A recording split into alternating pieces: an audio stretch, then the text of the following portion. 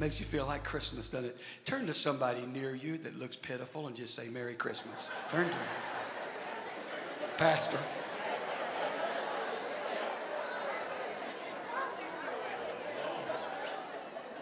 Must be a lot of pitiful people in the house. Amen. Hey, will you help me welcome everybody that's watching through the lens of that camera across the city and around the world? We call them the online campus, and we're thrilled to have them. As you take your seat ever so quickly, uh, let me say to those who are uh, not able to be here today, as you are well aware, as a faith family, we have a number of folks that are being affected by this uptick of COVID, and they are gathered around a television right now, a computer screen. And we just want to say you are missed, and we want to wish you a very Merry Christmas. In fact, will you help me say on three to those watching uh, from home and want to be here on three, will you just say Merry Christmas? One, two, three. Merry Christmas. Now, let me tell you who else is watching today. You are aware of the fact that what they have determined was an F5 tornado. That's a very rare uh, phenomenon, set down, and for over 350 miles, it cut a swath that ultimately ended up in West Kentucky. I have preached in that area quite a bit in a number of churches and have a lot of contacts, so we immediately um, were able to touch base with some folks. Two pastors reached out this morning to share with us that their buildings are completely gone and uh, they are meeting in satellite campuses and they're tuning this service in right now. So, will you make those welcome who've lost everything, including their church building? We love you, and our hearts and prayers are with you. Because you are faithful to give, we were able to send a sizable check to support them. One community just outside of uh, Mayfield, Kentucky, uh, it'd be a community like Gibbs, just outside of Knoxville. Uh, 80% of every home, 80% of all the homes, they're gone. Uh, they're, I mean, there's nothing left. And what they're running into is because of the chain supply issues that, they're, that we're having now, they have no contractors to build, but the contractors are saying if we could get to you, we have no supplies to build your homes. So they are in complete, total destruction with no hope on the horizon of what's really going to happen. So, as uh, one pastor um, evangelist reached out, a mutual friend of mine, uh, Brother Keith Boggs, he asked us to pray this morning God, give them wisdom for what to do with so many people who have lost literally everything that uh, they had in this world. So, you're on our hearts. We love you to those that are watching. Uh, from Fairview Knox, we send our love and our support, and we'll be sending additional monies up there to help you uh, provide shelter for those who've lost everything. If you're a guest this morning, we just want to say welcome. We're so happy to have you. Thank you for being a part of what God's doing in this place today. You're in for a special treat. I'm going to take a pastoral privilege for just a moment because I've got some heroes in the house that have ministered to me through the years and uh, my wife will know this well. In fact, I'm introducing them to my 11 month old granddaughter. She is now a big fan with her pops of the McKameys, who are here this morning. And if you don't know their music, you have been cheated. We are tickled to have the McKameys. This is their grandson and son, by the way, anyway. So uh, they, they came to hear him play, not me preach. But we'll just keep bringing him if you'll keep coming. So we're just tickled to have you. And to everyone that's here, fill out a guest card. Tell us how to pray for you and how to lift you up before the Father. Y'all ready to have church? This is Starla Hardman, all the way from the great state of Georgia. Will you make her welcome? Brother Mike, God bless you.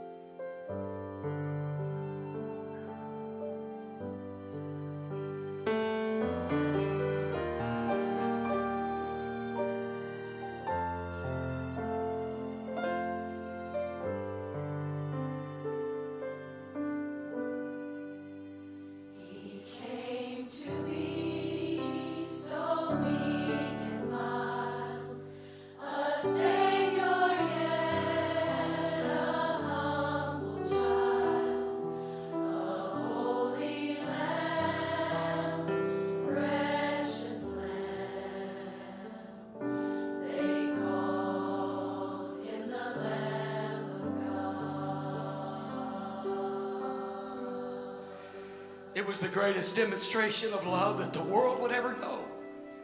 God so loved the world that he gave his only begotten Son.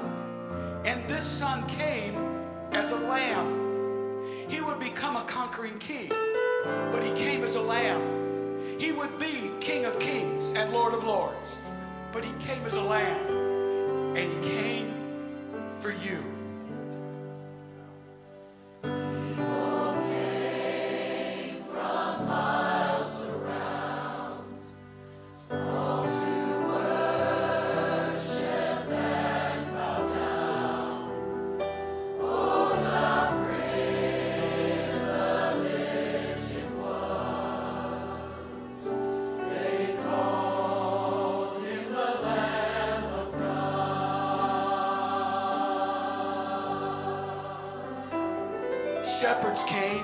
This lamb, and their lives would never be the same.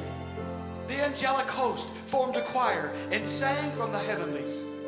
Wise men were wise enough to seek and bow down to this lamb. He came to seek and save the lost.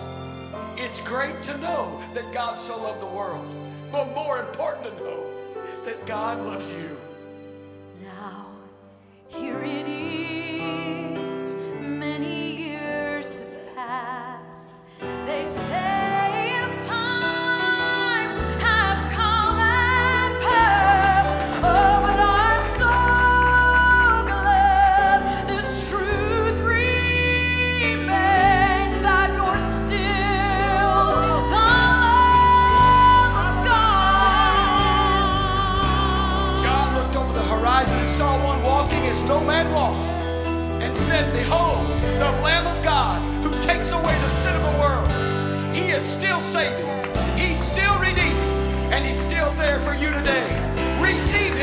And He will change your life. Time cannot change Him, ages do not time Him. He's still the Lamb of God.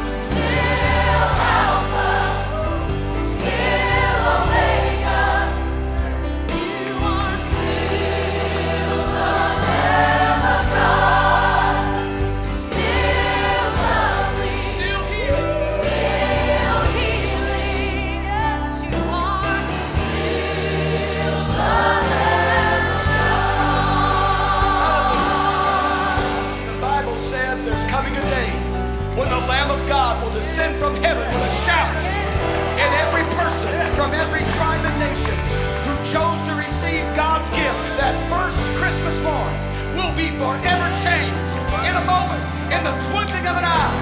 Until that day, the one who was and is and is to come is still changing lives. Hallelujah!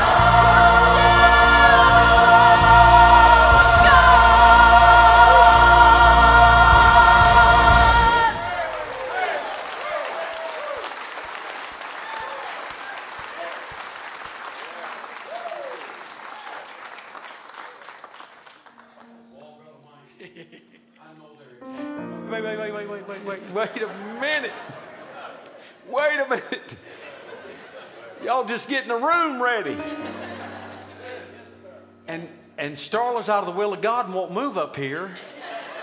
So we got to use her while we got her. Brother Mike, just just a few more minutes, just to blow some to dust sing off it again? I, I, well, di- yes. The church said yes. Church said yes. I believe the Spirit He's said still yes. Lamb. He's still the Lamb. Just give us a few more minutes.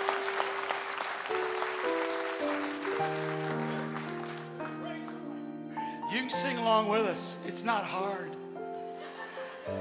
It's just the Word of God over and over and over.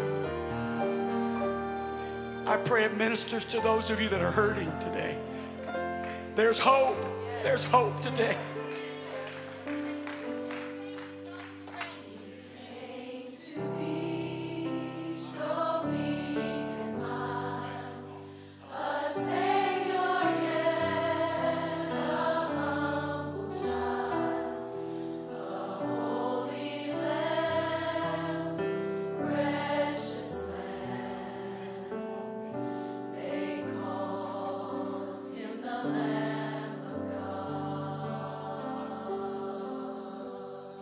It was the greatest demonstration of love this world would ever know.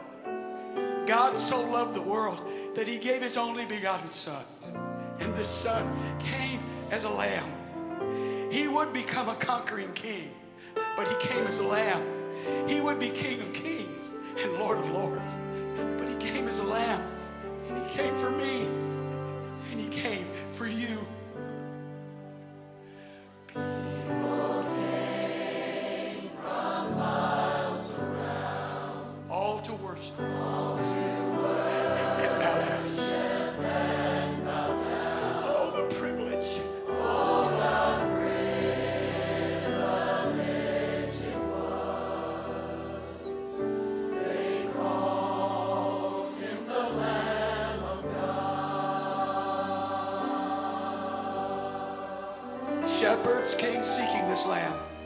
Their lives would never be the same. The angel formed a choir and sang from the heavenly. Wise men were wise enough to seek and bow down to this lamb. He came to seek and to save the lost.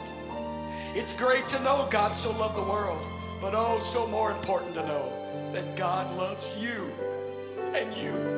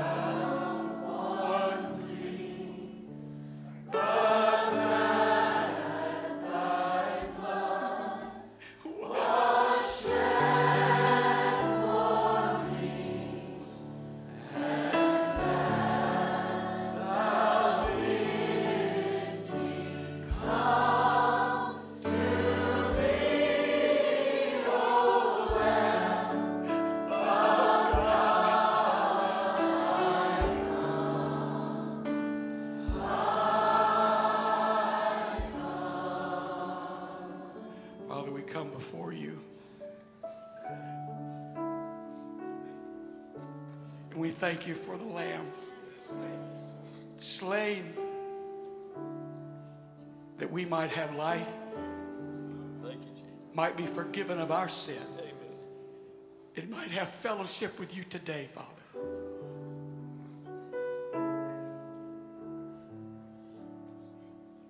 Holy Spirit, you welcome here today.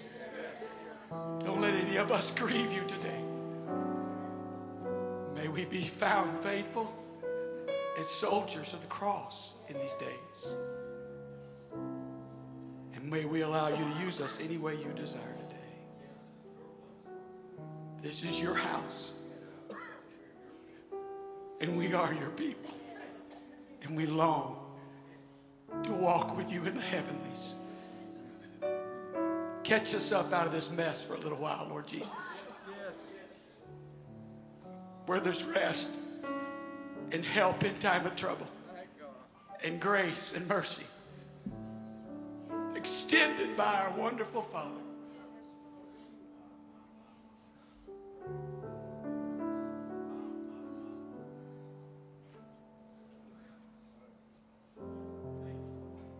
Because you're a good, good Father. It's who you are. It's who you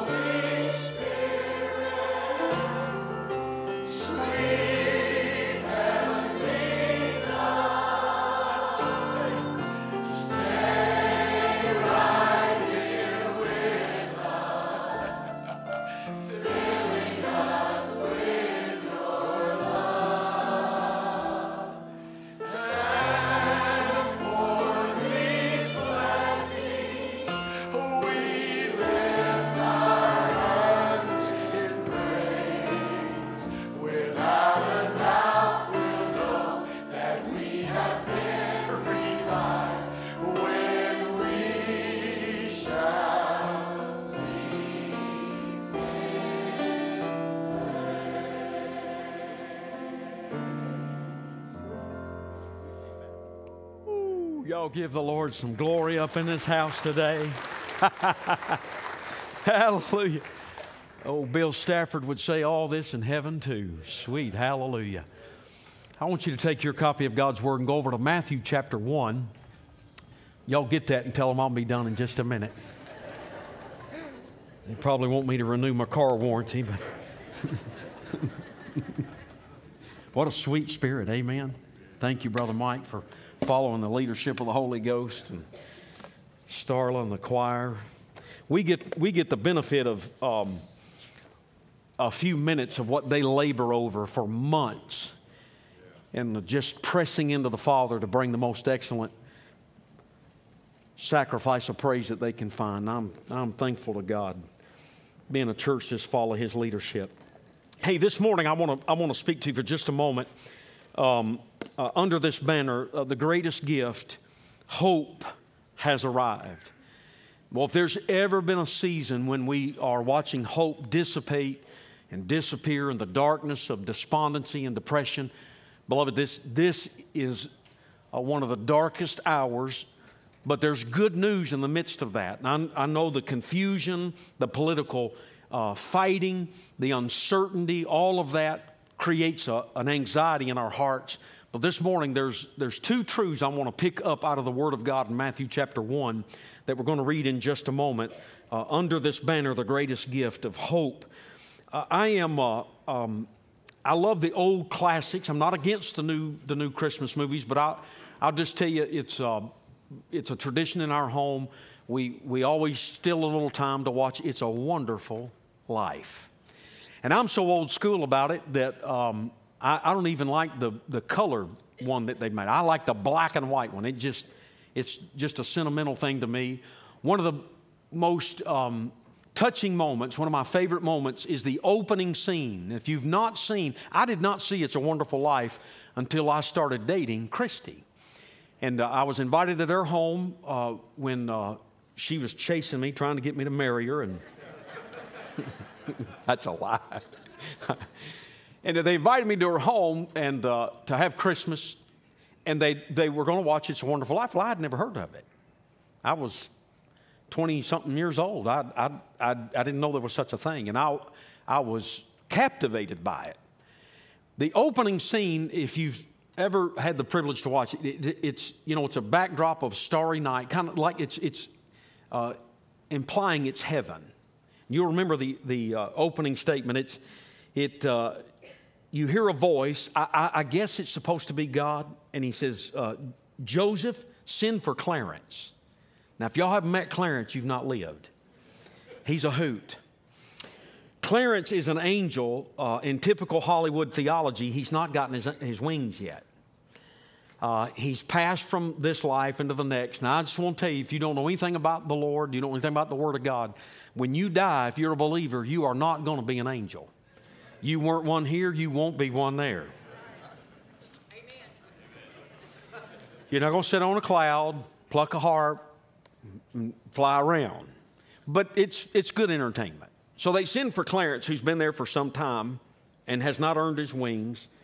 And, and I want you to listen to the dialogue. Uh, Joseph sent for Clarence. Clarence comes on the scene. You sent for me, sir? Yes, Clarence. Um, there's a man down on earth that needs our help. Oh, splendid. Is he sick? No, no, Clarence. It's worse. He's discouraged.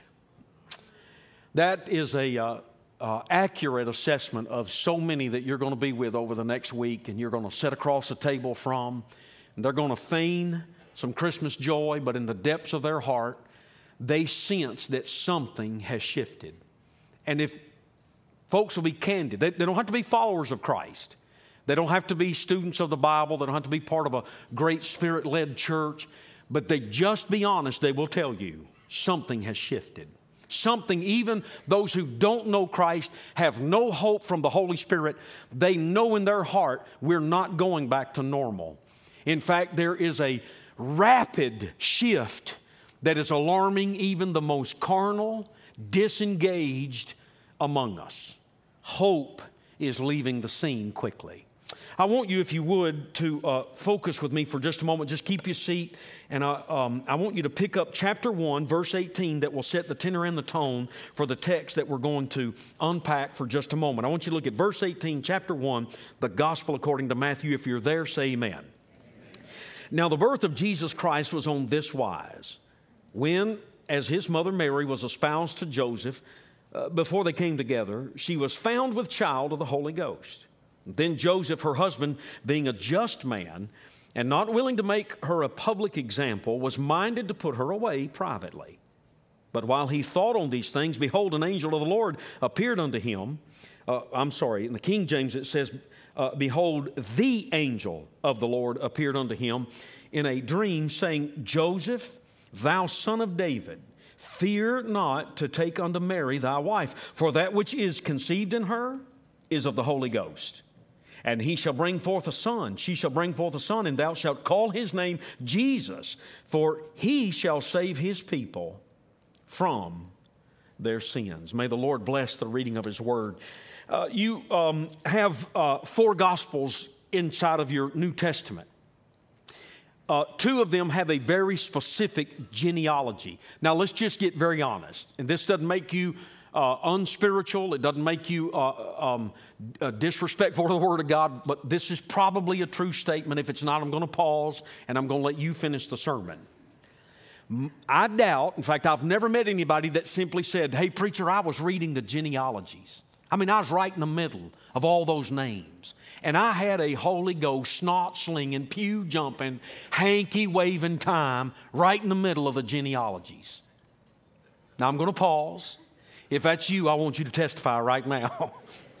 because the truth of the matter is, we, we in American Christianity, we, we don't have a framework to understand what's going on. Why, why this family tree? Why these long list of names that we can't pronounce, people we don't know? What, what is, why take up sacred real estate inside the Bible with, with, with this?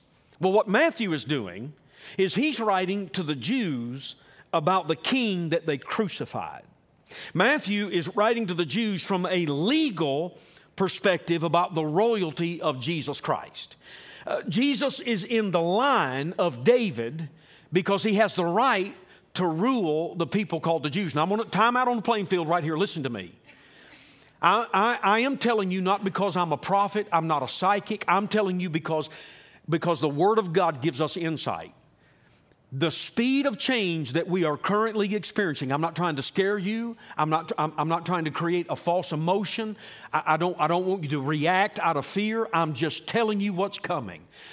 It, the bible says that in the last days it's, it's like the birth pains of a woman that's pregnant. It's like the breaking of the water. When that water breaks, we have a young couple in our church family we've been praying for this morning uh, uh, Grant and Miriam Ryan. Grant is a missionary that works here locally in the medical and then spends his time going to foreign fields uh, this morning, about three o'clock, he texted me, Her water has broken. The child is on the way. Can I tell you, if I had texted Ryan back at three this morning and said, Don't worry, if she doesn't want to have the little one, it's okay.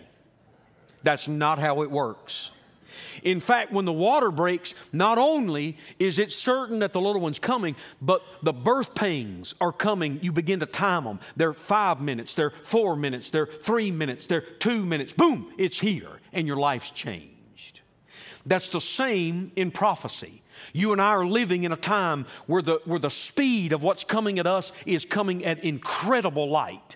Matthew is setting up the royal, regal, legal declaration that Jesus Christ, the King of Israel, stepped into history and they crucified him because he didn't look like what they thought he ought to. That is true of religion. Religion has a bad way of not accepting that which won't fit in the bulletin or is not voted on by the bylaws. We have a tendency to, to reject that which is not within our framework. And what you're going to see this morning under, under the truth of, of, of this word is they're, they're living in a prophetic time and there is a practical truth. Now, prophetically, it's, it's, a, it's a marvel because they're living in a season over 400 years, there's been no vision, no voice. There's no prophet standing and declaring. It's as if the heavens have sealed up and the nation has become apostate. They still had churches, they still had services, they had created this rut of religion that they lived inside of, and they went to church expecting nothing and they left experiencing nothing. They stepped into the perfunctory activity of keeping that which they'd always done, but there was no manna from from heaven, no voice from the Father, no power from the Spirit. And they became comfortable in the midst of it. We're going to look at Joseph and Mary for just a moment, and we're going to look at the prophetic times they lived in and the practical truth that changed their lives. We have a tendency to believe that the Bible's not practical, it's very practical. She didn't just get saved to get out of hell. I'm telling you, you got saved to be a better husband. I might ought to tell y'all we got a marriage conference in January and some of y'all need to go. You, you, you didn't just get saved to get out of hell. You, part of the gift of God is, man, when you got saved, you become a better wife. See, practically what happens is is not only do I experience the grace of God that rescues me, but I experience the Spirit of God that absolutely, totally resurrects me in a new way. So when you look at the prophetic time, I, I, I know this is going to aggravate some of you, but at least you'll get something before you leave. I know because I've not here, but I've had people tell me, preacher, you should not talk about prophecy at Christmas. I'm telling you, we are we are the generation, we are the generation that is watching the budding of the fig tree and the moving of the characters on the stage. And and and I, I- wished I had time this morning to tell you, just in the last 24 hours, how Russia has marshaled and moved into a prophetic place already announced by the Word of God. How Israel has told their people, get on high alert because it's about to break loose. It's, it, if you pick up the Word of God, it is tomorrow's newspaper today. How, how, how does this prophetic timeline work? How could they miss? They, they were told he was coming of a virgin. They were told the city he would be born in. They were told the circumstances that would surround his birth. They were, they were led of a star. The whole city is upside down. It's not three wise guys on a camel with three small boxes. The Bible says the whole city, the whole town of, of city of Jerusalem was turned upside down. Three guys on three camels with three little gifts don't turn the whole world upside down. They came in with an entourage declaring, and here's the truth of the matter Herod knew what most of us have forgotten. Herod knew there's only room for one king, and he meant to kill his competition. As believers, there's room for only one king in our lives, and his name's Jesus. Uh, the prophetic surrounding, how did they miss it? They, they, had, they had over 800 prophecies that foretold the coming of Yeshua Messiah, how he would get here, where he would be born, what, what it would look like in that season. Well, how did they miss it? I, I, got a better question. How are we missing it? Can I give you two quick examples? Say yes, because I'm going to do it anyway. I want you to watch the screen. I, am not going to trust this thing, guys. Will you hit the button for me? Um, I'm going to give you just a quick example of the power of, of, because when we read the Word of God, we tend to read it in such an anemic way. You do know there's not one word wasted in the Word of God. So when a Jew picked up the Bible and he's reading about this Messiah that they crucified and rejected, and he was raised from the dead, when they're reading Matthew's gospel that shows it from, from the royal um, legal side, well, Luke comes along. He's not writing to the Jew, he's writing to the Gentile. It's not about the royalty, it's about the humanity. He's not, Luke is not showing him as the, as the sovereign, he's showing him as the Son of God. Uh, he's as much God as if, he, if, if he's never ever been man. He's as much man as if he's never been God. It's, it's the deity wrapped in humanity, and both Matthew and Luke are saying, listen, we can't explain it, but if you deny it, you'll lose your mind. So I'm going to show you one quick example. So when a Hebrew would pick up these letters and read them skeptically and say, I don't know about this crucified criminal called uh, uh, Yeshua Messiah. I'm not sure about him. I, I want you to just watch this. This is the genealogy out of Luke 3. Now remember, Matthew's showing that he's sovereign and that he legally has the right to retain the throne of David. Luke says he's a son, and in his humanity, he's born of Mary. Now, now, here's the genealogy the son of Noah, the son of Lamech, the son of Methuselah, the son of Enoch, the son of Yared, the son of Mael, the son of Kenan, the son of Enos, the son of Seth, the son of Abraham, the son of God. Did anybody have revival while I was reading that? Probably not. Watch this. Remember, when you pick up the Bible, you are holding a book unlike any book that's ever been given to this world. I want you to watch this. Hit the button for me, guys.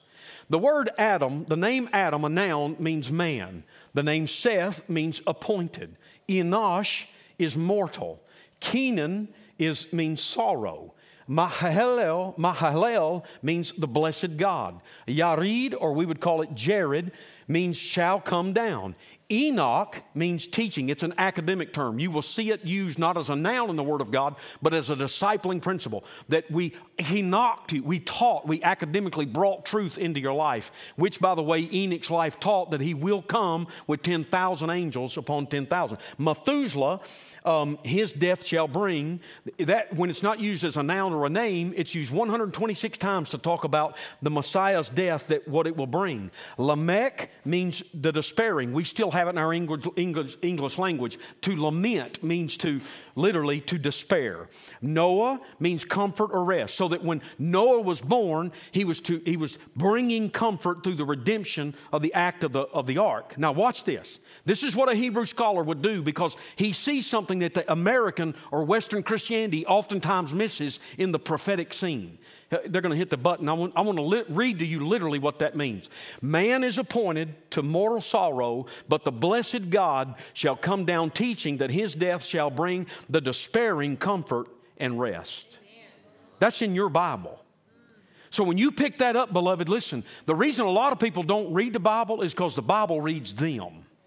And it, it sometimes it, it's not as comforting as it is convicting. But I promise you, if you let it convict, it'll bring comfort. This is a supernatural document. And what, what I want you to understand is you're living in a prophetic season that if, if you don't get a hold of the prophetic time you're living in, there is a wave of deception. I, I would have never dreamed a few years ago that the pastors I'm talking to that are telling me they are done, they are finished. Not many years ago, I stood in churches and I would preach to thousands in conferences.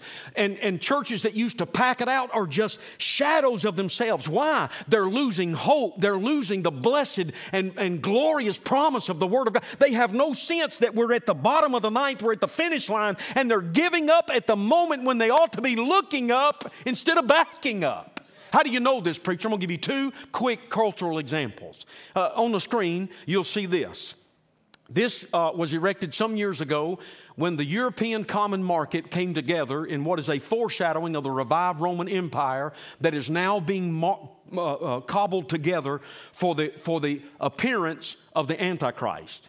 Europe decided they no longer want to be a Christian, uh, uh, they want anything to do with God. In fact, when they put this image, which is an image, a deliberate image of the woman riding the beast in Revelation chapter 18, this is, um, this is a summary, but this is what they said. We, we as a people have become technical and educated enough. We do not need the antiquated Bible and the myth and fairy tale of the gospel. So when they built their building to announce that they were cobbling together these multi nations, they put a woman on the beast to say this. We will do what Nimrod never could do. We will build the, the Babel, we will build the Tower of Babel. Babel means gate of God. Do you understand, beloved, how arrogant that is? Do you understand how absolutely apostate that is? To declare openly and publicly, we, we want you to know we not only don't believe the Bible, but if there is a God, we want Him to look down and see we'll do what Nimrod couldn't do. We will rise up and we'll be gods of our own lives. You hear me well, beloved. There is a moment coming quicker than we think when every knee will bend, every head will bow, and every tongue will confess that Jesus Christ is Lord and Savior. Now, I know you're saying, well, preacher, that's in Europe. You know, that's in Britons. We put a whipping on them and they don't know any better. Well, let me show you what we did this week at the UN. This is the newest statue outside the United Nations in New York City. And I don't have to tell you, if you're a student of the Word of God, that comes right out of the book of Daniel, chapter 7, and right out of the book of Revelation, chapter 5. And behold, I saw a beast with the head of a lion, the wings of an eagle, and the paws of a bear. That's what they said outside. Listen to me. You and I are living in the last minutes of the last hours of the last day. And I know this is Christmas and the, and the tree's been trimmed and the gifts have been wrapped, and I want you to go have a great one. And if this scares you, you don't know the Christ that we're preaching in this house today. If this causes you trepidation, you don't know the peace that passes all understanding. If this causes you to wake up at night and wonder where you're going to go when that moment comes down, you've never met the one who can shed abroad the love of God in your heart, put your name in the Lamb's book of life, put you a place at the Lamb's, uh, at, at the Lamb's marriage supper table table. I'm telling you, this stuff right here, it doesn't scare me. In fact, it grieves me that so many would be so blatant in, in this nation that is a God blessed nation to say in his face, we, we are openly rebelling against you. Now, that's the prophetic truth. That's where we're living. We, we, we cannot, like those who lived in, in Joseph and Mary's day, you can't be oblivious to what God's doing. So, if that's the prophetic times, what, what's the practical truth? Let's, let's get to something that's got a practical truth. Hit the button and get that off there because I'm not going to get them back till you do. Now, so let's look, let's just take it apart for just a moment. And I want you to look at verse 18, and I'm gonna, I'm gonna build this around just a couple of thoughts, the practical truth. Okay, we're living in prophetic times. We, we are watching the unfolding of last days prophecy coming at us. Verse 18. Now, the birth of Jesus Christ was as follows. After his mother Mary was betrothed to Joseph, before they came together, she was found with child of the Holy Spirit. Now, I want you to listen to me. I'm I'm gonna just lay this out for you in, in, a, in a very subtle way, uh, uh, in a practical way. Uh, Joseph and Mary. She is somewhere between 12 and 14 years of age. Don't, don't think poorly of them. That, that was common for them to get married that early and, and because of multiple things. Um, Joseph is probably somewhere from 15 to 17 years of age.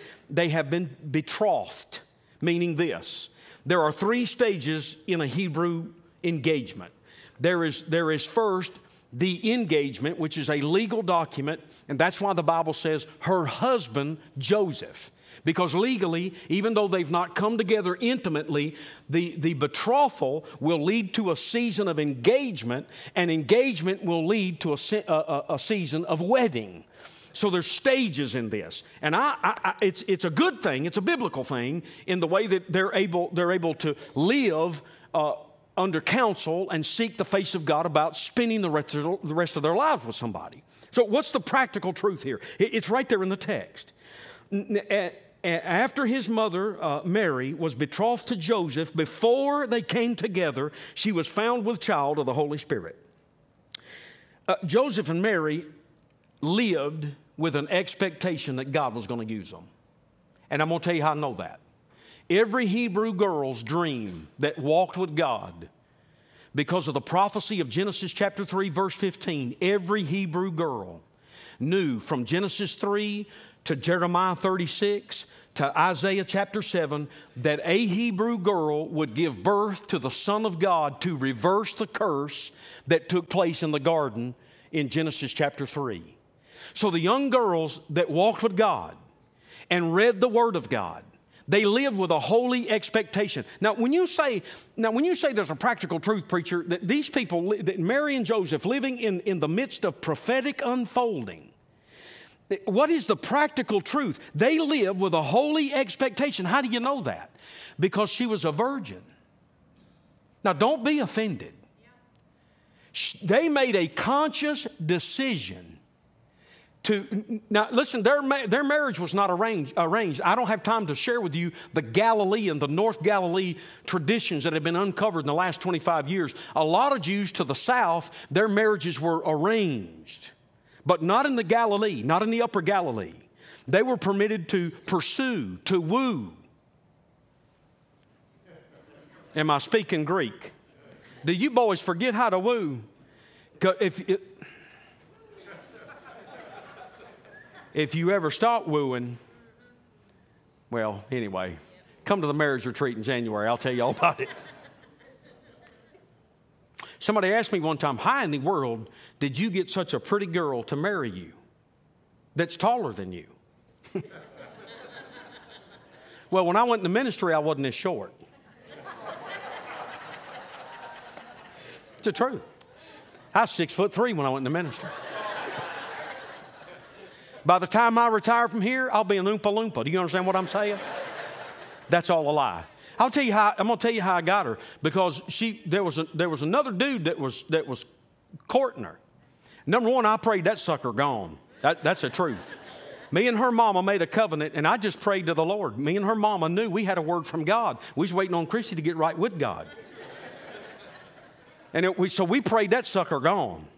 And I was preaching a revival, and, and I, I kid you not, I was praying, God, she's the one. Because I, I was courting a young lady that was a cabillionaire. Her father owned three or four uh, car dealerships and a bunch of houses all over the world. She was worth millions and millions of dollars, and I felt that was the will of God.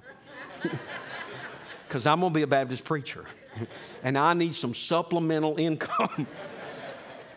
and I was convinced that that young lady was supposed to be my wife. And the Holy Ghost said to me one Sunday, confirmed by Christie's mama. Now, if this gets you out of your theological framework, you'll have to talk to God about it. I'm just telling you what the Holy Spirit said to me. The Holy Spirit said, You got to let her go because I have somebody else.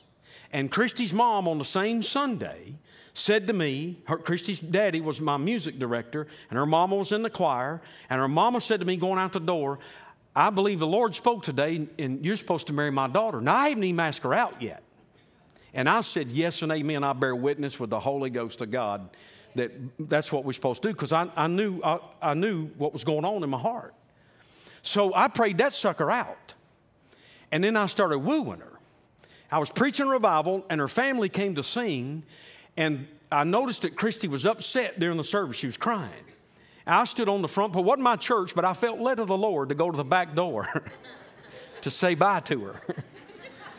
and somebody shared with me that the old boy I'd been praying that would get gone had got gone. He stood her up. You okay? All right. He stood her up. And she was kind of misty eyed about it. And I, I was trying to be all sober, like, you know, not happy. I'm so sorry. I'm thrilled. I hate it. I'm so glad. and I started wooing her in a way that she didn't have a choice but to say yes. I just show up her house. I finally told her, look, I'm not going away. So the best thing you can do is marry me, right? Now, now listen to me. Listen to me. There was a holy ex- expectation in my heart from the Word of God. And I, I, I, began, when I got saved, I started living in a way I couldn't explain, but it was just birthed in my heart. I, I couldn't define it, I couldn't explain it, I couldn't put words to it. Joseph and Mary are, are, are living in a place where, just as teenagers, they can't explain it. They're, they're in love, there's no question that they, they betrothed to one another. They're googly eyed and their hearts thumping, their hands are sweating, and they, they, they can't wait to be together, but they waited because they wanted to honor God. Listen to me. We live in a culture that is begging you to not live with an expectation that God's going to use you. We are living in a culture that's telling parents you ought, you ought to compromise, you ought to just you ought to just give up. Your kids are just they're gone. There's nothing you can do in a pagan pornographic society like we live in. Listen to me.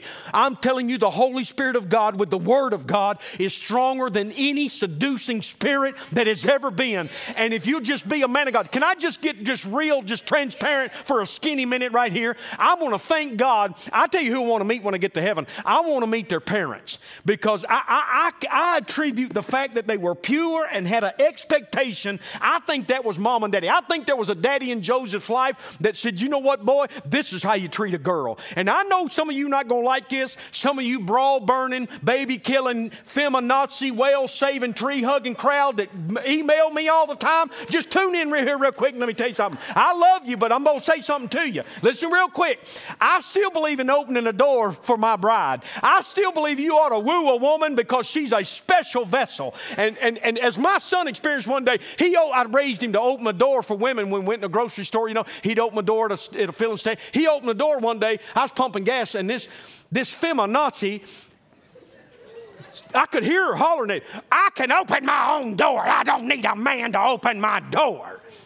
And, and my son said, Well, my daddy taught me to open the door for a lady. Obviously, you're not, so you get your own door.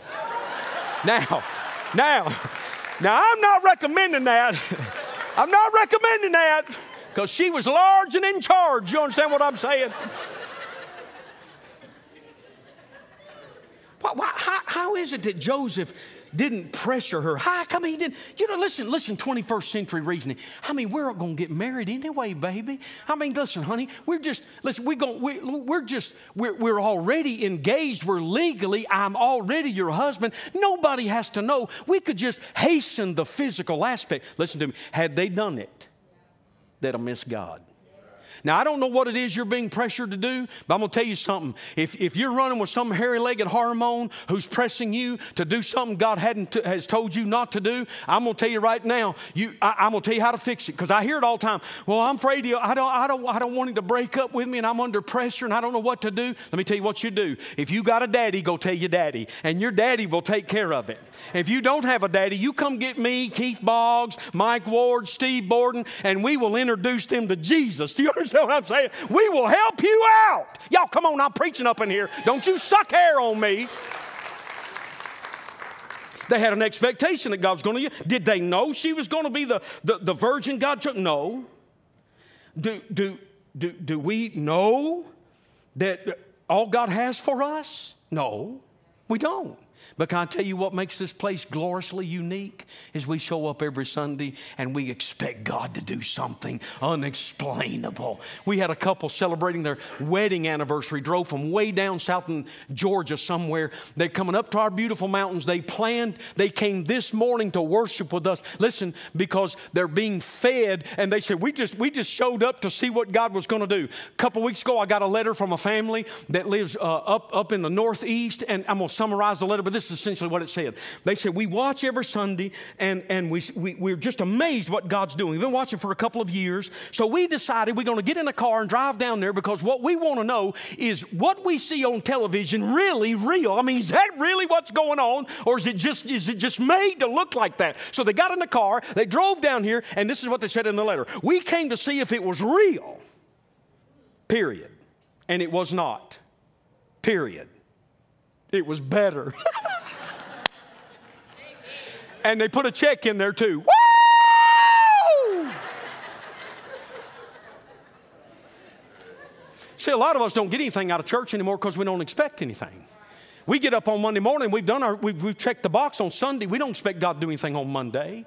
What are you expecting God to do this Christmas? What is it you've asked Him to do that only the one in the manger that went to the cruel, rugged cross and stepped out of an empty tomb? What are you expecting Him to do? There was a lady about a year ago. Uh, she just had one of those holy glows on her. She sat right back in there, about third seat or so, and I just instantly liked her. She, I don't know, I don't say how old she was, 39. She's 39, and, and uh, she just had a holy glow on her. And, and I just stopped and said hi to her. And I asked her, I said, Hi, now, who are you and how'd you get here? She said, Well, I am a travel nurse, a very special uh, medical travel nurse. And she traveled all over the world um, under contract. And she, she didn't have any people in Knoxville, but she had a contract at UT. And she was at UT. And she said to somebody, Hey, I, I'm, I'm looking for a church. She was walking by a door. And as if I recall correctly, she heard the choir. Somebody was watching the service and she heard the choir singing through, their, through the speakers of the computer.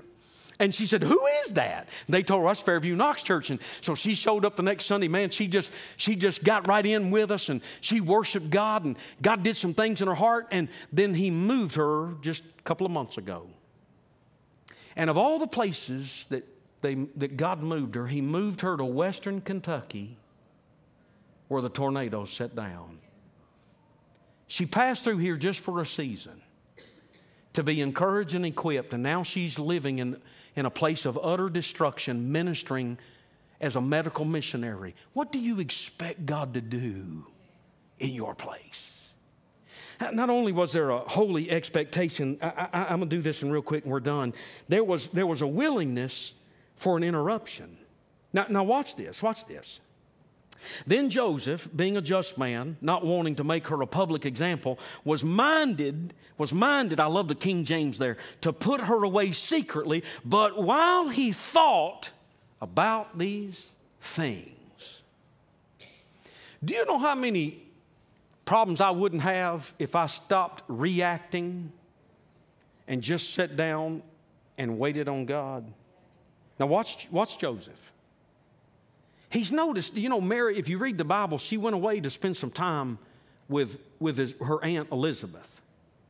Once the announcement comes, she goes to spend some time with Elizabeth. I, I want to be around people who are pregnant with God. Okay, that blessed me more than it did you. I, I want be around people that are conceiving something of the Holy Spirit. I'm 50, none of your business years old, and I'll tell you something I have resolved. I ain't hanging around with no more deadhead, moss back, bylaw toting, spirit grieving, bucket headed Baptist that wouldn't know God in a broom closet. I just ain't doing it because I, I'm, I'm not in the fourth quarter, but I can see it, and I've just decided I'm going to the third and fourth quarter with my Holy Ghost shout on, and I'm going to enjoy the journey. And I want to be around people who are pregnant with the promise of God. I want somebody swole up with the promise of God like an Elizabeth. Why did she go to her aunt's? Because her aunt was, was, was conceiving something that God was doing. And see, when you try to tell people what God's doing in your life, if they haven't been intimate with the Spirit, they've got no point of reference. They look at you like you got four heads. They, they look at you like you got four heads. Do, you do understand there are times when God will speak so definitively, and it, it will be the opposite of logical, financial, biological capacity that people will look at you and say, that, That's fanatic. God can't do that. I'm telling you, nothing is impossible with God. So Joseph sits down, and, and while he thought about it, hmm, there was an expectation that God was going to do something. But to something God did isn't what Joseph expected him to do. I, I mean, Mary, Mary was acting a little different. Come on, women, help me out up in here. He's, she's acting a little different. She's come back from Aunt Elizabeth's, and she's been with a woman who. Did y'all hear last week's sermon, or do I have to preach that again? she's with a deaf mute who had an experience with God came home from church and had to explain without the capacity to talk. Some of you heard it. And not only that, but they are geriatrically challenged. Whoo, tough crowd this morning. She's been hanging out with Elizabeth. And she's been watching her uncle, Zach.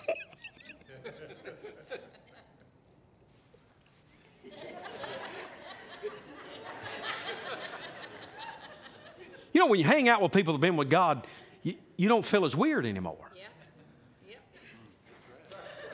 You, you don't feel as weird anymore, right?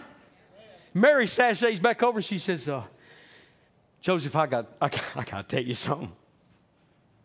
Okay, baby, you know, you're getting a little puffy. now, let me look at me. Don't ever say that. Don't ever say puffy. Okay, we got a list of words in my house. That's one of them. You don't ever, if your wife walks in and she's gained 40 pounds overnight, you never say, You're a little puffy. let me tell you what you'll be. You'll be a little dead. That's what you'll be. I don't care what she's got on. I, it, she could look like a busted can of biscuits hanging out of something. You, I'm gonna tell you. Listen, this how you. This what you say. This is what you say. This what you say. Boy, getting hot in here, isn't it? This what you say. You say, baby, you look good. You look like a golden biscuit to me, baby. I ain't charging none of y'all for that marital advice. He said, Mary, there's something different about you. She said, Well, I'm glad you brought that up. I, I got to tell you about this thing that's happened. What is it? Well, you ain't going to believe what I'm. I mean, you, you know that. You remember when we were in VBS as kids and they used to teach us about the virgin will conceive? You remember that? Yeah, I remember that. I remember the whole theme. It was, it was the whole theme of the Messiah coming in VBS that year. I remember the Kool Aid and the cookies, and, and, and they brought the camels in, and we talked about the virgin. She said, Well, that's me. He said, What? What? It, it, what? What? It's me. Now, baby, what, what were you doing over there with Aunt Leah's? Now, watch what he does. He doesn't blow up, he doesn't get in the truck and leave. Oh, if it wasn't Christmas, I'd preach right there. He doesn't sling something, kick the poodle, smack the cat. He sits down and he thinks about it. Do you know how many less problems we'd have if we just sit down and think about it? Now, when I say think about it, I'm talking about a man who whose mind has been transformed through the renewing of the Word of God. And when he's sitting there thinking about it, the more he thinks about it, don't miss this. Now, I'm telling you, this is worth getting up and getting to church right here. The longer he yields his mind, his will, and his emotions to the expectation and the interruption, the Holy Spirit is saying, Father, he's stepping out of his carnality. He's stepping out of his emotions. He's, he set aside his will. He set aside his logic. He set aside his anger. He set aside his emotions. And he is transforming himself through the Word of God. Look at him. He's sitting right there thinking. I remember in Genesis chapter 3, it was the promise of the seed of the woman. A woman doesn't even have seed, a man has seed. I, I remember that prophecy. And I remember out of the book of Ruth, I remember out of the book of Ruth that she was supposed, that, that the one's going to be born in Bethlehem. That's the whole picture of Ruth. That's why she went back to the field and they made the covenant marriage. That's how we became the house of Jesse. And I remember that a woman will be overshadowed. Jeremiah chapter 36 and would conceive, a virgin will conceive. Isaiah chapter 7 and chapter 8. Wait a minute, wait a minute. Mary! Ma- Mary! And about that time, the Bible says, and now, now listen, this is the King James. I checked it in my Greek lexicon because I saw something. I, I had a head on collision with God this morning about four o'clock. It said, the angel. Now, your translation would say an angel, but the Greek says the. Y'all gonna get this at the Waffle House and sling eggs everywhere. Watch this. See, the more, the more I transform my mind through the renewing of His Word, as long as I stand there and I make up my mind, this is how I'm going to do it, bless God. I'm going to tell you something, preacher.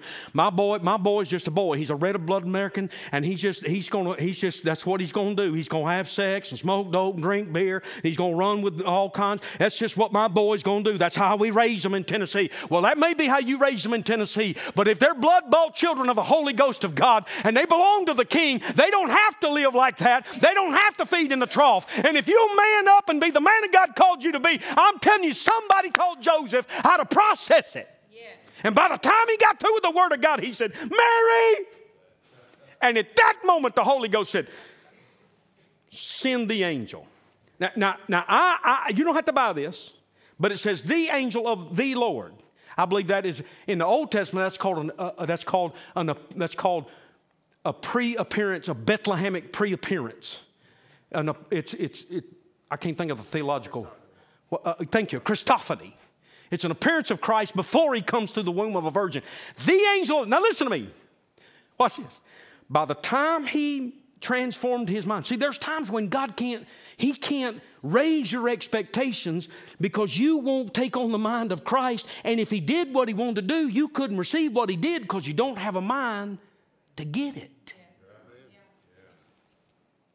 The angel of the Lord said, uh, Hey, Joseph. Now, I personally am going to hold to this for this sermon. I think it's Christ.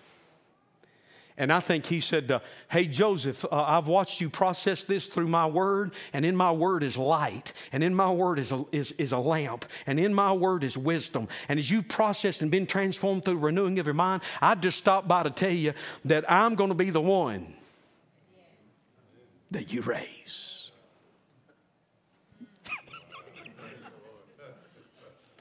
And in that moment, in that moment, his heart shifted.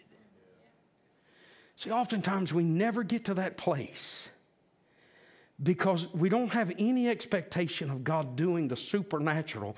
And we can't let God bring about an interruption because we've never been transformed into the place of thinking God is bigger than what I'm facing. Now, I know what you're thinking because we sing it all the time. You know, our Christmas songs, they talk about, you know, the, how quaint it was and how peaceful it was. Okay, I, ha, I, I listen, newborns are not peaceful, number one. number two, this, this is going to follow Jesus all of his ministry. This is scandalous. In fact, in his ministry in John chapter 8, he's confronting the religious, and, and I want you to listen to what they say to him. He, they said, Who are you? He said, Well, I'm of, I'm, I'm of my father Abraham. And I want you to listen to what they said to him. Um, well, we didn't come from fornication. See, if you read the Bible and take those lenses off that you've been given in the American church, you'll see a whole nother set of issues. Jesus is 30 plus years old and they're still gossiping about his mama. But because his stepdad and his mom had a holy expectation that God at any moment could bring a divine interruption, when we get to heaven, we're going to sit down with two of the greatest parents that ever lived. And I'm telling you, God's still doing those kind of things. Let's pray together. Father, in the midst of all that's going on in this old sin sick, crazy world, may we never lose sight of the prophetic times. And I pray that those times would encourage us in such a way that we live with a holy urgency in our spirit to win the lost, that none will be left behind. But I pray we leave here today with some practical truths.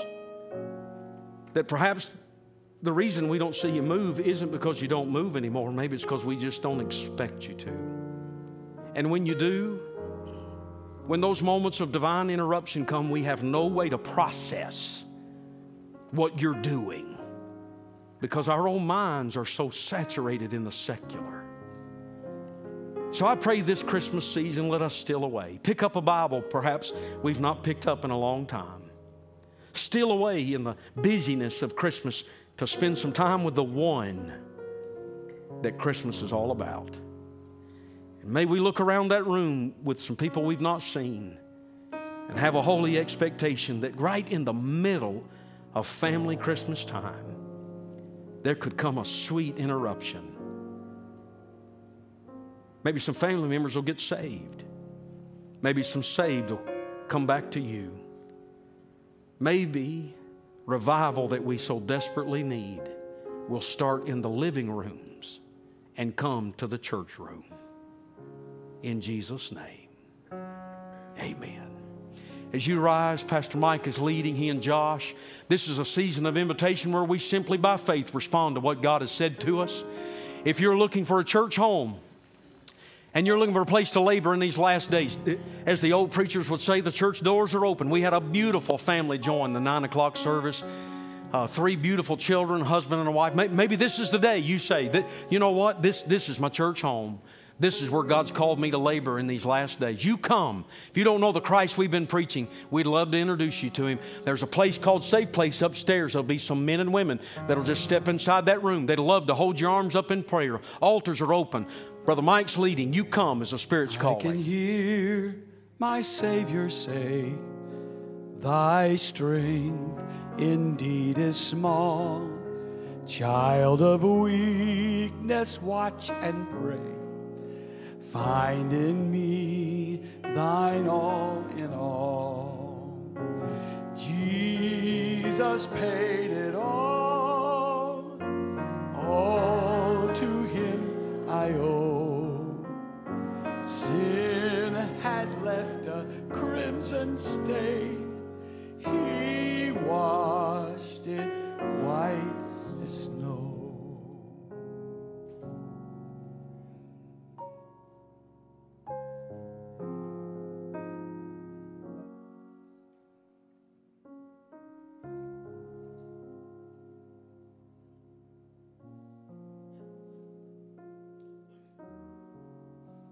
Brother Richie, we're so glad that we were able to have Starla here today. Don't didn't you enjoy Starla Harbin? Hallelujah. Georgia?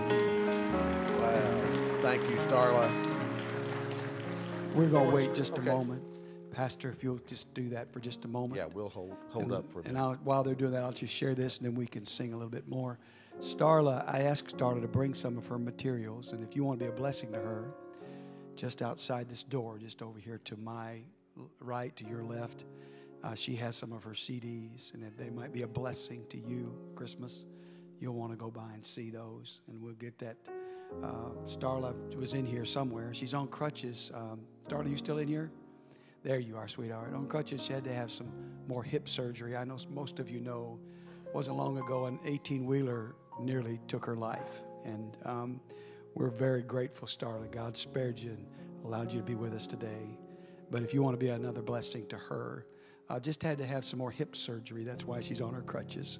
And uh, but anyway, um, and we're going to wait just a second, Pastor. Wait just on this, and um, We got a, we got a couple that's uh, I love it. going to make uh, covenant membership. They're going to talk Pastor Richie. And uh, praise the Lord. Amen. Is Mike Ward up there anywhere? I- Is, he there? Hey, so I want to tell you, because y'all don't get the nine o'clock, you know, and it's not aired, thank the Lord, because Brother Mike acts horrible. Um, let me tell you how we close the service before Pastor Richie comes and takes it back. Uh, Mike Ward is uh, one of our connection group leaders. You know it is old-fashioned Sunday school, but it's it's so much more than that. It's it is really the heart and the hub of who we are. And if you have to make a choice, I mean this before God. If you have to make a choice between worship or going to connection group, I'm asking you go to connection group because that's where you build relationships. And and the secret of what God's doing in this church is not that pulpit. It's in the heart of this people. And these are some of the greatest people that you're ever going to meet. And I mean that. And it's not because I pastor them. It's in spite of me being their pastor, they are some of the most awesome people you're ever going to meet. And if you, all you do is ever come in the room, you miss getting to know some of these great people. Well, Brother Mike has a way, he, when he teaches his class, he teaches at 9 o'clock, 8 o'clock, and 9 something. I can't hear him. And uh, so he always tells them, don't lose the song in your heart. So we had a big old strapping. You would have never believed that guy would have done that. Ronnie Angel, who's a, typically very quiet, nothing like his son Austin, very quiet, kind of a wallflower. He had under the Spirit of the Lord. He the song in his heart. He had written a happy birthday song to the Lord over the last couple of weeks, and the Lord told him, "You got to sing it to the church." I wish you could have heard it. It was the most precious, authentic thing. No music. He just sang that song that he wrote to Jesus, Happy Birthday. And we left out of here to the glory of God. So I just want to tell you don't lose a song in your heart. Get in a connection group under great teachers like Mike Ward and some others and uh, see what God's doing. Pastor Richie, come tell us what the Lord's done. Sir, Corey and Betsy, come on down here. This is Corey and Betsy Jones. Uh, Corey's already a covenant member here, and his beautiful wife wants to be one too. So, how about it, church family? If you will love her, if you will love her and loose her, that she may be all God has called her to be, and laboring together in these last days with this forever family, would you say, Welcome home? Amen. Amen. Welcome, guys. Miss Greta Cardwell's right over here. She'll take you to the next step. Hallelujah. Um, so, uh, if you're a guest today, man, we are so blessed you chose to worship with us on Advent Sunday. That's what today is, by the way, Brother Mike. Did you know that Advent Sunday is the farthest away from Christmas that it can be this year on the calendar? Yeah. You know what that means? Not, I don't know. I just say, I just, I'm just a calendar nerd, you know, six days. Wow.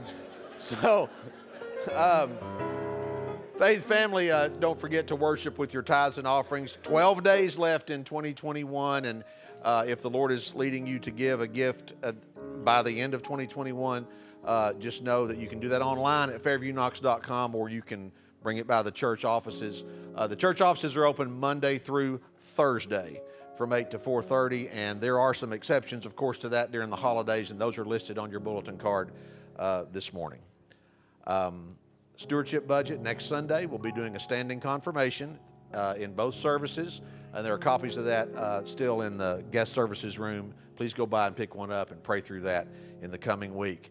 Hey, Merry Christmas to you and all of yours. Let's pray together, and we'll be dismissed today. Father, you have proven yourself over and over again worthy and faithful. Thank you for all that you've done in this house today. And thank you for all you're going to do. I pray a blessing, Lord, over each person and each family that is here today and watching online, Lord, as we move into this beautiful Advent season. Um, bless us. And thank you for the gift of Jesus. We pray this in his name. Amen.